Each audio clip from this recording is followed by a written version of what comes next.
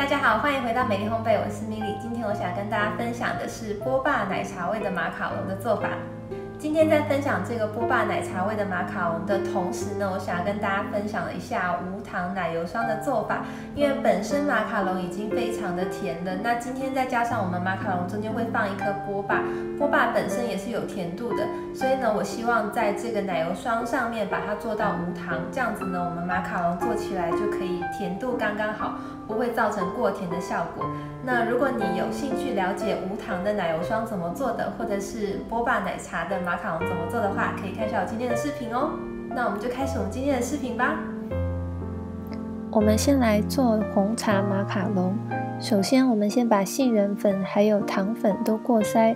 过筛的这个步骤是不能省略的哦。这个步骤在做马卡龙的过程里面非常的重要，大家一定要把这些分量都称好，然后过筛。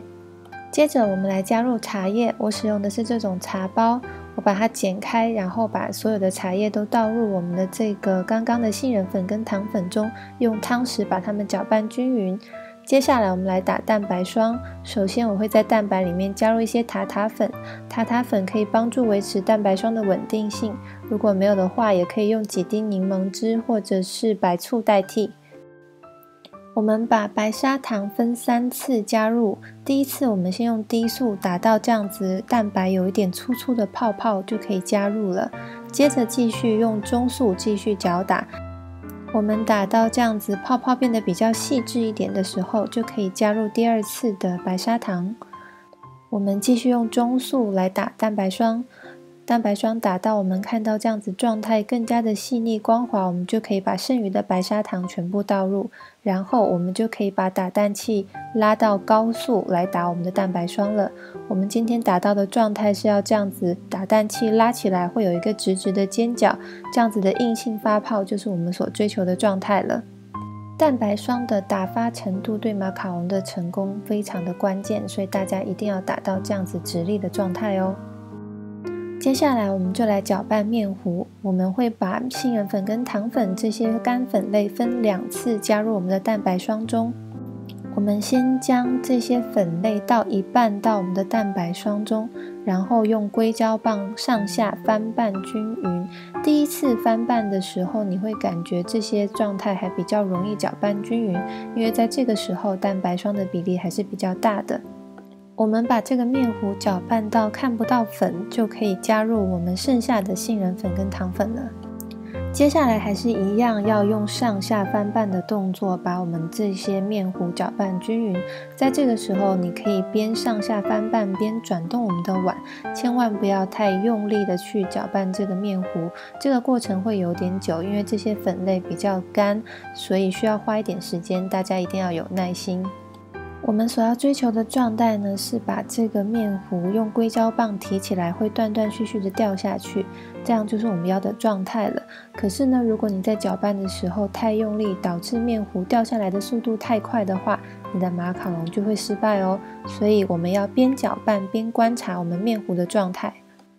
在视频里面你会看到，我把这个面糊拉起来，它掉下来的速度是非常慢的，那么就表示这个面糊这个时候还是太粘稠了，还需要继续搅拌。我又继续上下翻拌大约十次左右，再把这个面糊拉起来，看它掉落的速度。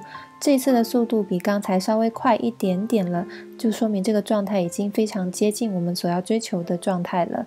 然后我再继续上下翻拌大约五六次，再把它拉起来。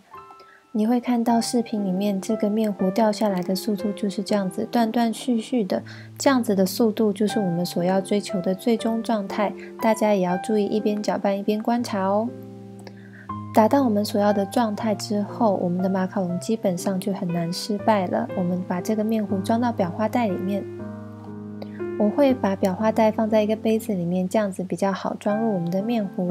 然后呢，我用一个封口夹把这一个裱花袋封死。接下来我们就可以开始来挤马卡龙了。我使用的是自己打印的这种小圆圈的模板，那么我的尺寸大约是每个马卡龙三厘米左右，这样子的面糊基本上是可以做出来二十个左右的马卡龙。我们把烘焙纸平铺在我们的模板上面，然后这样子一个一个挤出圆圈。挤的时候可以稍微画圈，再提起来，这样子比较不容易使它的表面有一个小的尖角。挤好之后，我们轻震几下就可以把马卡龙里面的气泡敲出来。然后我们晾干到手指碰它的表面不会粘手，这样就可以送进烤箱烘烤了。烘烤完成之后，一定要记得把马卡龙完全的晾凉之后再把它取下来哦。我会用小刀从下面划过，这样子的话比较不容易把马卡龙撕裂。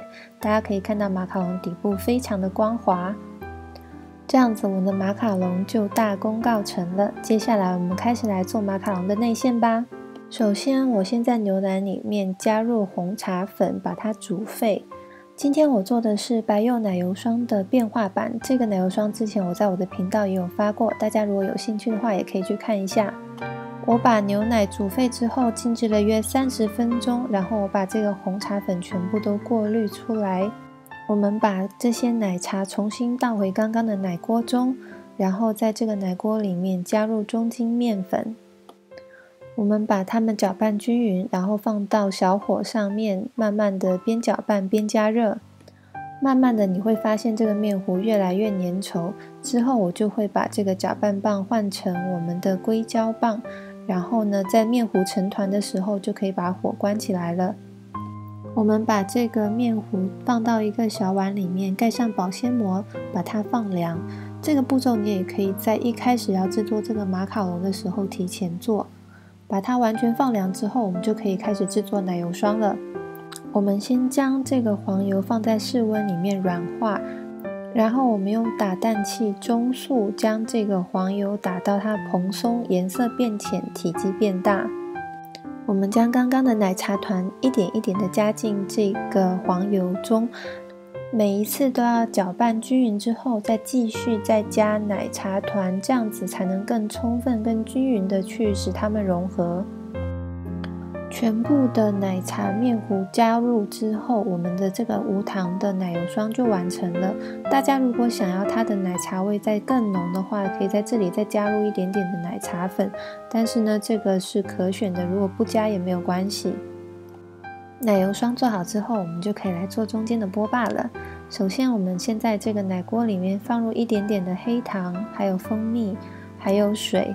我们把它们搅拌均匀，放到小火上面加热，把这个糖跟蜂蜜充分的去融化。之后，我们加入糯米粉，把它们搅拌均匀，然后放到微波炉里面加热三分钟。每个家庭的微波炉的强度都会不一样，所以大家可以根据自己家里的微波炉的强度，适当的增减时间。做好之后呢，我们把它取出来，它就是这样子 QQ 的，很像麻薯的感觉。我们准备一个裱花袋，然后我会在这个裱花袋里面喷一点油，去防止我们的麻薯粘在我们的这个裱花袋上面。然后我们再把刚刚的做好的这些麻薯倒进去，这样子我们的黑糖波霸就做好了。现在我们终于可以来组装我们的波霸奶茶马卡龙啦。首先我们先挤上我们刚刚做好的这个奶油霜，我是这样子画圈去挤的，这样子我们中间就可以稍微留有一点余地，旁边高，中间低。奶油霜这样子画圈挤好之后，我们把刚刚的黑糖波霸的这个裱花袋剪一个小小的口，我们这样子慢慢的把这个黑糖波霸稍微推出来一点点，它就挤成一个长条状，然后再用剪刀把它剪断，这样子它就变成一个黑糖波霸的感觉了。内馅挤好之后，我们把这个壳轻轻的放上去。我们用两只手这样子轻轻的去旋转它，这样子就可以把两个壳轻轻的这样子粘好了，又不会挤压到中间的奶油霜。我们的马卡龙就大功告成喽！记得要把马卡龙放到冰箱冷藏，到这个奶油霜变硬了再吃，比较好吃哦。这个马卡龙吃起来奶香味非常的足，你可以吃到红茶的香气，又可以吃到中间 QQ 的波霸。它的口感非常的丰富有层次，就真的很像在吃一个波霸奶茶的甜点一样。如果你跟我一样超级喜欢喝奶茶的话，一定要试试看这个马卡龙，超级好吃。我的频道上面还有非常多其他的可爱马卡龙的造型分享，大家如果有兴趣的话，也可以到我的频道观看。非常感谢你们看我今天的视频。如果你喜欢这个视频的话，不要忘记给这个视频点赞、转发还有分享。如果你还没有订阅我的频道的话，不要忘记订阅我的频道哦。那我们就下次见喽，拜拜。